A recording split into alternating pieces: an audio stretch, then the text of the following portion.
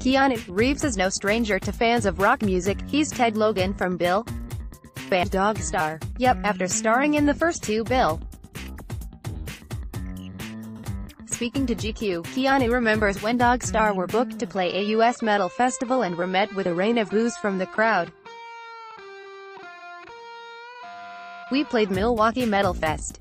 Got killed, said Keanu. I think we played close to seminal NY hardcore mob, Murphy's Law. Imagine. So we played a Grateful Dead cover, at Milwaukee Metal Fest. We were like, they hit us. What are we doing here? What can we do? Let's do the Grateful Dead cover. Reeves continued.